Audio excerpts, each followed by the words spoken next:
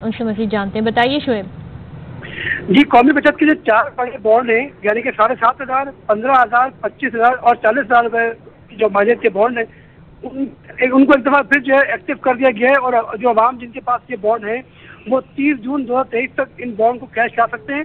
इससे पहले जो है ये उनतीस मार्च 2022 को रद्दी रद्दी बन चुके थे तो हम हुकूमत के पास ये शिकायतें आ रही थी, तकरीबन दस अरब रुपये से जायद मालिक की बॉन्ड आवाम के पास मौजूद हैं और इक्कीस शिकायतें जो है वजारत खजानों को मौजूद हुई थी, जिसमें आवाम जो है ये बॉन्ड कैश कराना चाहते थे। अब हुकूमत ने सहूलत दी है इनको कि ये अपने अकाउंट में जमा करा सकते हैं या इसके सर्टिफिकेट हासिल कर सकते हैं या फिर इसको कैश करा सकते हैं। तो अब मजीद जो है आवाम के पास तीस जून दो तक का टाइम आ गया है कि इन बॉन्ड्स को जो है वो दोबारा कैश करा कैश करा सके।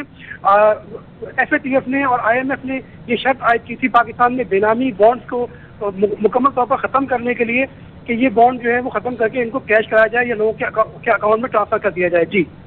शुएब, बहुत शुक्रिया।